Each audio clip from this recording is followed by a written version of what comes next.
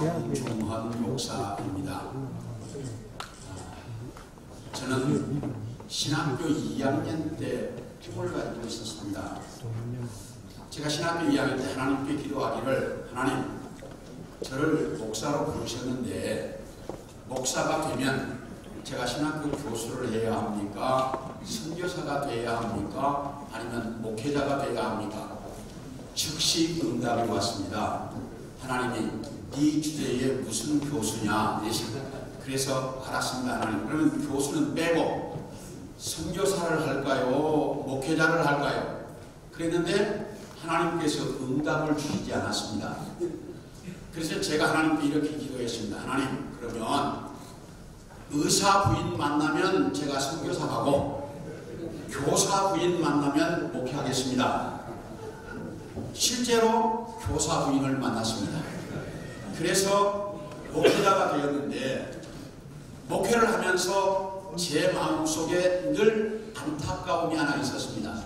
선교사로 가지 못한 것에 대한 그 미안함과 아쉬움이 있어서 제가 하나님께 이렇게 기도했습니다. 하나님 그러면 내가 담임 목회하면서 파송 선교사 10가정만 파송할 수 있도록 도와주십시오.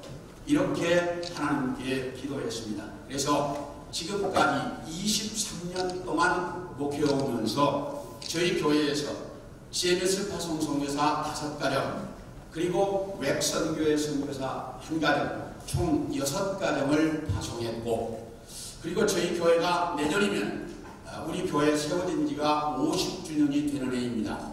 50주년이 되면 베트남의 한 가정을 파송하려고 이미 준비를 마쳤고 제가 2023년이 되면 한 가정을 더 파송할 계획입니다. 그래서 제가 목회하는 기간 동안 아마 10가정은 못하고 8가정 정도 하고 제 목회가 끝날 것 같습니다. 이렇게 선교사를 열심히 파송하면서 제 가슴 속에는 선교에 대한 이런 제 나름대로의 그 이제 그 비전이 꿈이 있었습니다. 왜냐하면 선교사를 파송했으면 파송한 교회가 그 선교사들에게 정말 잘 해줘야 한다고 하는 꿈이 있어서 제가 말레이시아 이슬람권에 파송한 선교사는 기술을 가르쳐서 그 기술을 가지고 선교할 수 있도록 돕고 있습니다. 그런가 하면 또 제가 불가리아에 파송한 오윤식 선교사는 28개 교회 1,800명 이상에게 세례를 베풀었습니다.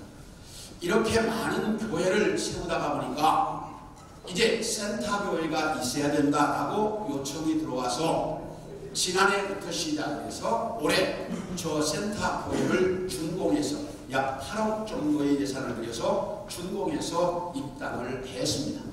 이렇게 이제 말 불가리아를 돕고 있고 필리핀에 파송한 우리 정재영 선교사는 그레이스 칼리지라고 하는 이제 신학 대학을 정부로부터 정식 인가를 받았습니다. 그러다가 보니까 본관 건물이 필요해서 저희 교회가 내년 50주년 기념 행사로 저기에 본관 건물을 지어서 이제 저 대학이 정규대학으로 자리를 잡아가도록 돕고 있습니다. 그리고 우리가 창의적 접근 지역이라고 말하는 지역에는 우리 총신을 졸업한 현지인을 우리 한국 사람이 현지인을 선교사로 파송을 해서 선교를 하다 보니까 추방의 염려 없이 아주 잘하고 있습니다.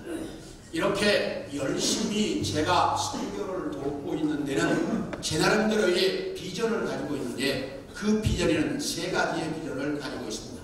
첫째는 선교사를 파송했으면 파송한 선교사가 가장 즐겁고 행복하게 선교할 수 있도록 도와야 한다고 하는 사실과 두 번째는 선교사들이 선교 사역을 마치고 돌아왔을 때 그들이 갈 곳이 없습니다. 그래서 그들에게 사후에 그들이 안정된 생활을 할 수 있도록 무엇인가 대책을 세워야 한다고 하는 그런 비전과 또 하나는 우리 GMS가 지금도 세계적으로 유명한 선교이지만 모든 선교사들과 이사님들과 그리고 우리 직원들 모두가 자랑할 수 있는 자랑스러워할 수 있는 선교회로 만들어야 한다라고 하는 이러한 비전을 가지고 있어서 제가 이번에 GMS 부이사장에 출마했습니다. 이런 비전을 이루어갈 수 있도록 이사님들께서 저를 적극 지지해 주신다면 대단히 감사하겠습니다. 감사합니다.